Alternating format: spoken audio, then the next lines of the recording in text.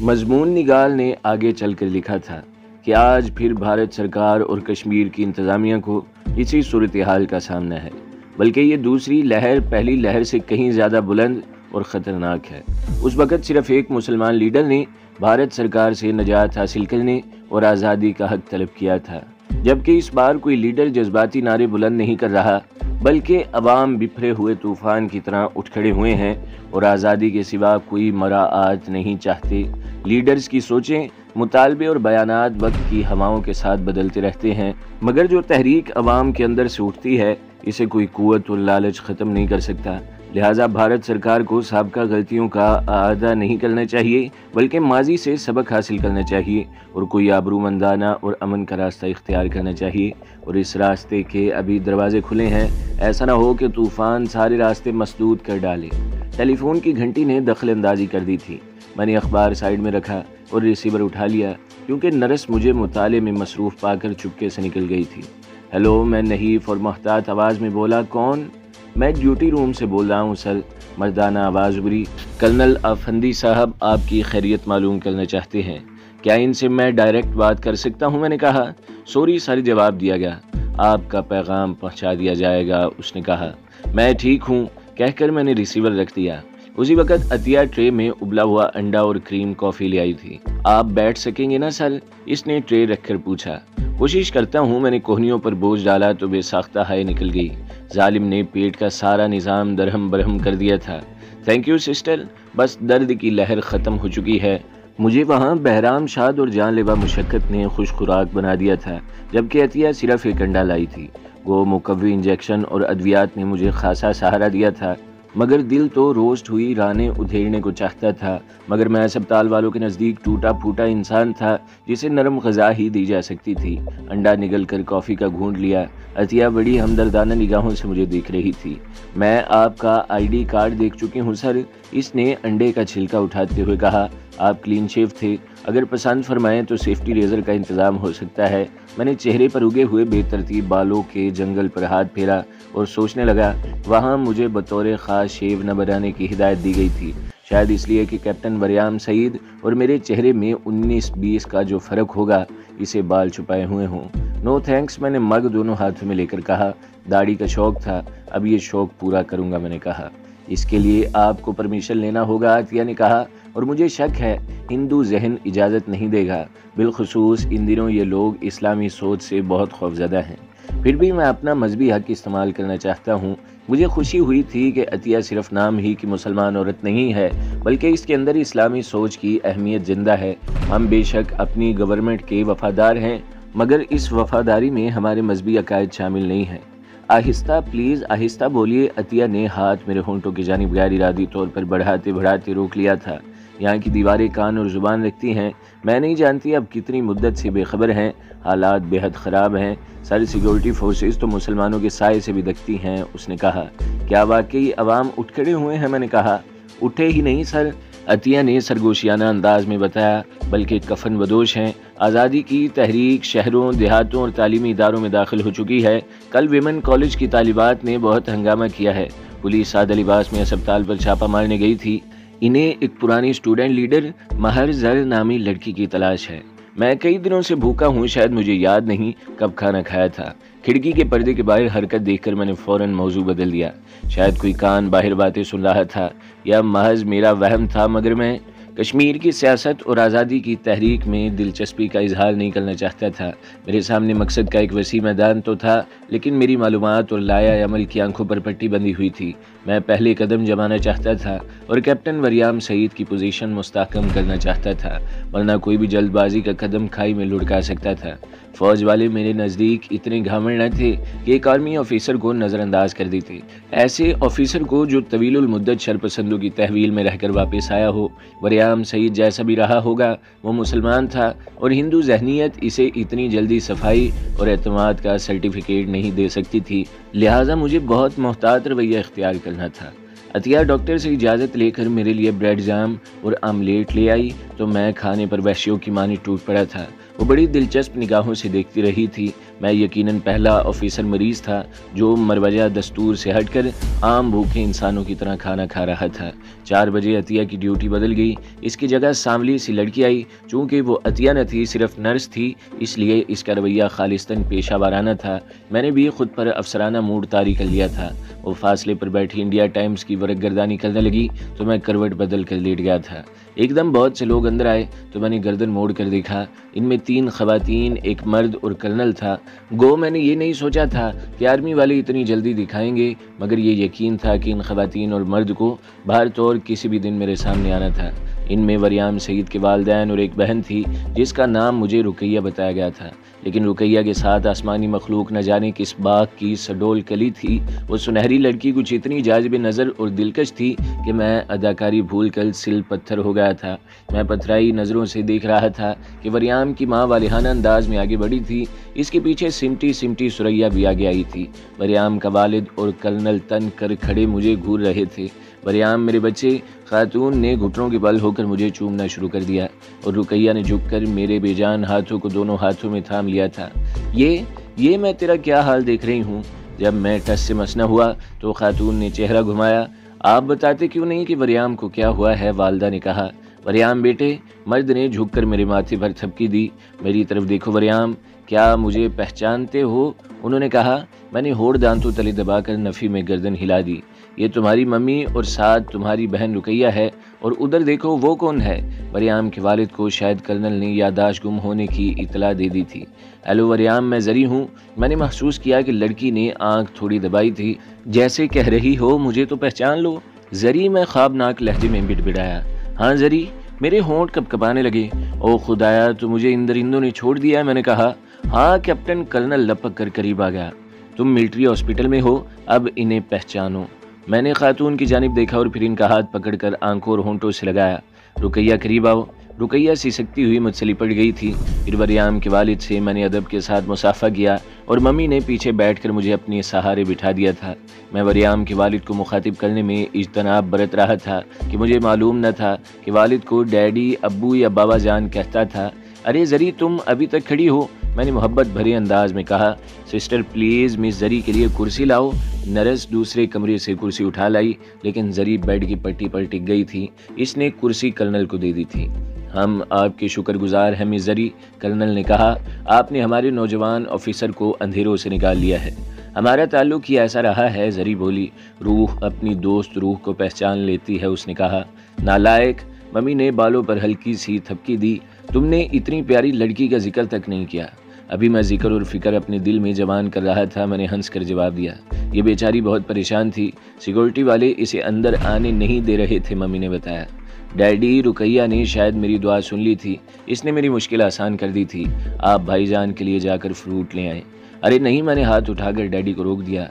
आप लोग ही मेरे लिए सब कुछ हैं। सर डैडी बोले, हमारा बेटा कब तक अस्पताल से फारिग हो जाएगा? ये तो डॉक्टर ही फैसला करेंगे, सईद साहब। कर्नल ने जवाब दिया क्यों वरियाम तुम क्या महसूस करते हो? कर्नल ने कहा, पहले तो कुछ याद नहीं सर, मैंने जवाब दिया। अब महसूस करने की कोशिश करूँगा, मैंने कहा।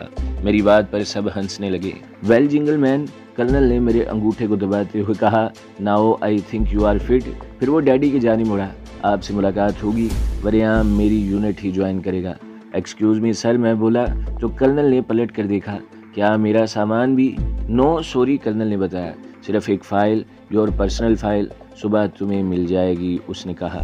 इसकी रवानगी पर सब लोग ताजीमन खड़े होकर फिर बैठे थे। डैडी ने कर्नल वाली कुर्सी संभाल ली थी। अब हम हैं, वो सिगरेट सुलगा कर बोले, सब अपने, तुम मुझे बताओगे वरियाम, क्या मामला हुआ था तुम्हारे साथ? मुझसे पूछिए, मम्मी तड़क कर बोली, आपका बोया कुछ इससे कटवाया गया है, और अगर आप वही कुछ बोते रहे तो कभी रुकैया, और फिर मुझे भी वो लोग तकलीफ़ देंगे। तुमने जवाब नहीं दिया बरियाम डैडी ने धुआँ उगलकर जहरीली आवाज़ में पूछा, डैड, मैंने गहरी सांस लेकर कदरे शर्मिंदगी से बताया। मम्मी का जवाब मुकम्मल है, वो लोग किसी तंजीम से ताल्लुक़ रखते हैं। उन्होंने हमेशा मुझे गद्दार, इब्ने गद्दार कहकर पुकारा और मारा था। वो कहते थे कि तुम्हारा ख़ानदान जाफ़र ख़ानदान से ताल्लुक़ रखता है। वो बकवास करते हैं डैडी धाड़े हम हमेशा हुकूमत वक्त के वफादार हैं। वफादारी गद्दारी नहीं होती, उन्होंने कहा। ये वक्त ऐसी बातों का नहीं, अंकल। जरी बोल पड़ी। आपको सोचना ये है कि वक्त आपसे किस वफादारी का तकाजा कर रहा है। हुकूमतों का भी वक्त बदलता रहा है और इंसान को भी वक्त का साथ देना चाहिए। नहीं बेटी, मम्मी ने मुझे सिरहाने पर संभाल कर टिका दिया। वो बेटे की वजह से या बुनियादी तौर पर इस्लाम पसंद खातून थी। ये वक्त औलाद और किसी जज्बे के कायल नहीं है। मम्मी, प्लीज़, यह सब ताल है। रुकैया ने इसके होंठों पर हाथ रख दिया। बाहर जो बिखरे हुए हैं, वो ऐसी बातों को पसंद करने वाले नहीं हैं।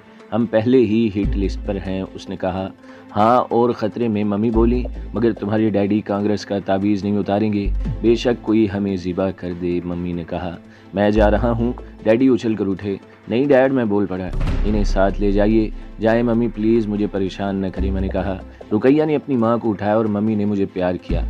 हम तुम्हारी सेहत याबी तक यहाँ तुम्हारे मामू के यहाँ ठहरेंगे। जरी आप कुछ वक्त और रुक जाएँ। जरी को मैंने तजब्जब में देख कर रोक लिया। बाद में इसने मेरी जहानत की तारीफ़ करते हुए बताया था कि वो रुकना चाहती थी, लेकिन बेजवाज़ नहीं।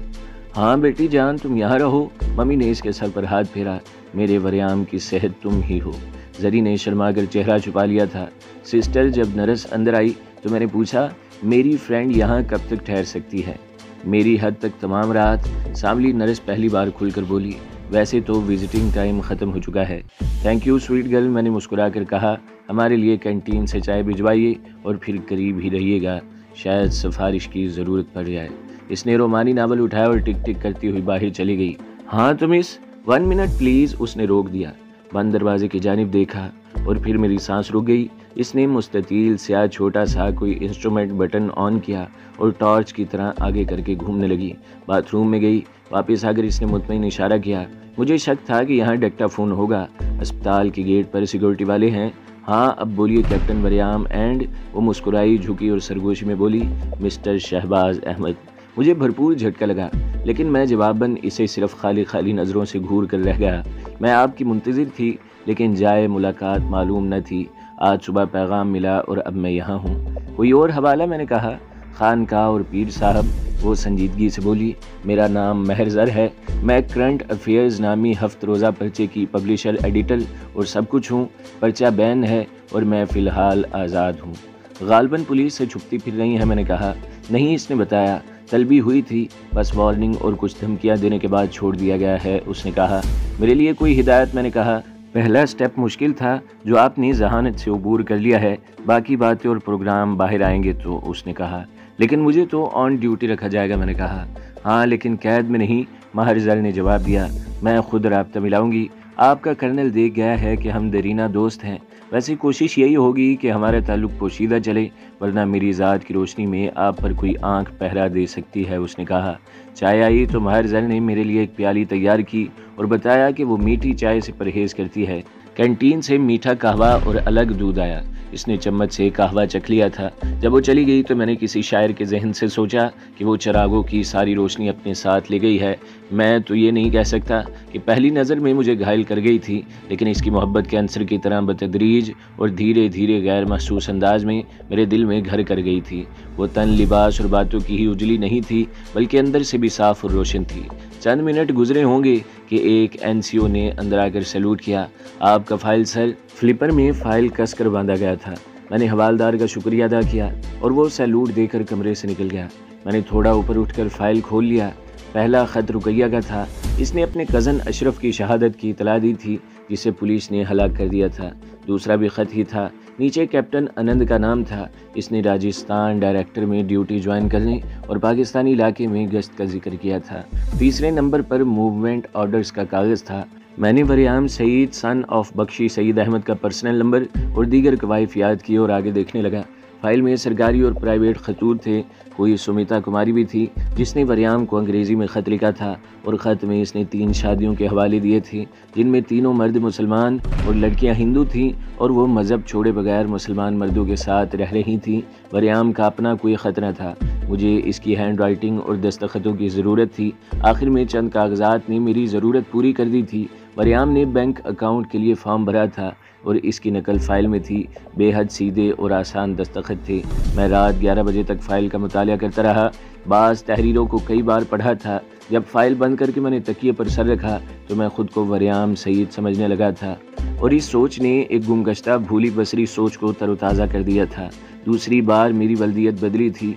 माजी जो बाज़ जावियों के ज़रिए मुझ तक पहुँचा था, वो भी अजीब बल्कि नाकबिल यकीन था। बाबा जान ने कभी बताया ना, मुझे पूछने की जसारत हुई थी, लेकिन रहीम दादा बाबा ने बताया था। अलिफ लैलवी कहानी सुनाई थी, जिस पर मुझे आज भी यकीन है, क्योंकि इंसान या तो अल्लाह के खसूसी हुक्म से बिन माँ बाप पैदा होते हैं, लेकिन इस दुनिया के इंसान वालदेन के हवाले से वजूद में आते हैं।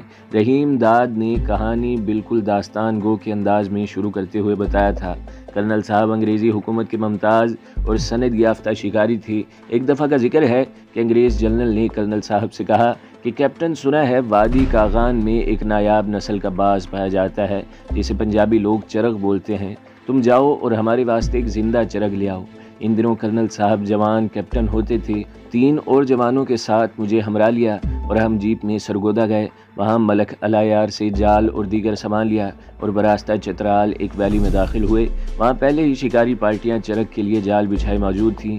कर्नल साहब ने दो दिन वैली का दौरा किया और फिर एक ऊँची चट्टान के नीचे फाइयाँ और जाल लगा दिए गए। सातवें दिन वैली में ऐलान हुआ कि मियाँ वाली की पार्टी ने चरक पकड़ लिया है। कर्नल साहब ने इस पार्टी से चरक छीनने का प्रोग्राम बना लिया था, मगर वो लोग रातों रात निकल गए थे। इसी सुबह जब हम बेदार हुए तो कर्नल साहब के खेमे से बच्चे की रोती आवाज़ सुनाई दी थी। हमने देखा कि एक लोथ जैसा बच्चा रो रहा है। कर्नल साहब ने बताया कि रात रोने की आवाज़ आई थी। आवाज़ चट्टान की खूह से आ रही थी। वो ऊपर चढ़े तो चरक के घोंसले में बच्चा रो रहा था। इसलिए बच्चे का नाम शहबाज तजवीज़ हुआ था। दूसरी रिवायत भी थी, जो करीन अकल थी कि नौजवान कैप्टन नवाजिश अहमद के ताल्लुकात एक एंग्लो इंडियन लड़की से थे। फिर उन्होंने सिविल मैरिज कर ली और इससे एक बच्चा पैदा हुआ। रावी इस बात से लाइलम था कि आया बच्चे की माँ मर गई थी, या नवाजिश ने ताल्लुक़ मुनक़ा करके अपना बच्चा इससे ले लिया था और फिर बच्चा अपनी पहली बीवी की गोद तक ले जाने के लिए ड्रामा खेला गया था। कौन सी रिवायत सच्ची थी, इसका फैसला कोई भी ना कर सका था। लेकिन एक बात जो रोज़ रोशन जैसी थी कि मेरा माजी किसी कब्र में दफन था। कर्नल नवाजिश मेरा हकीकी बाप न था और फिर दूसरी बार जब आज़ादी के मतवालों ने मेरा इंतखब किया तो उन्होंने मुझे एक और बाप दे दिया था। इसने मुझे बेटा कहा था और मुझे भी डैडी कहना पड़ा था। रात खामोश थी, मेरी नर्स साइड बेडरूम में रोमानवी नावल पढ़ रही थी और मैं सपाट छत पर निगाहें जमाए खुद को तलाश कर रहा था, लेकिन मेरी ज़ात तो सहरा में खोई हुई सुई की मुतरद थी। फिर मैंने सोचा कि मैं पराई आग में क्यों कूदा हूँ? स्कूल से यूनिवर्सिटी तक मेरे अंदर आज़ादी पसंद कोई जरसूमा न था। मुझे ना तो मुसलमानों की तारीख से दिलचस्पी थी, ना कश्मीरियों के हकूक़ के बारे में संजीदगी से सोचा था। मैं तो गायें की तरह सर झुकाकर घर से अजनबी लोगों के पीछे चल पड़ा था। मेरे इस अमल की तय में पास अदब था फरमा बरदारी थी। तरबियती कैंप में दाखिल होकर मैं बेशक फ़रार के बारे में न सोचता। हाँ अगर एक फरमान न पढ़ लेता तो रूह की गहराइयों और बदन की सारी तोानाइयों के साथ खुद को नोबल काज के लिए वक़ कभी न करता। पहले दिन का आगाज़ हो रहा था। सुबह की अजान वादी पर वजह तारी कर रही थी और मुझे वज़ू के लिए पहाड़ी नदी तक ले जाया गया। वज़ू से फारिग हुआ ही था कि एक आवाज़ सुनकर चौंक पड़ा था। आवाज़ जैसे पहाड़ों और जंगल पर ऊपर से बरस रही थी। रब कायनात का कलाम अल्लाह ही के किसी बंदे की ज़ुबान से अदा हो रहा था। तो दोस्तों, अगली किस्त सुनने के लिए हमारे चैनल को ज़रूर सब्सक्राइब करें, वीडियो को लाइक करें और बेल के आइकन पर भी क्लिक कर दें, ताकि हर जो आने वाली वीडियोस हैं, वो आपको सबसे पहले मिलती रहें।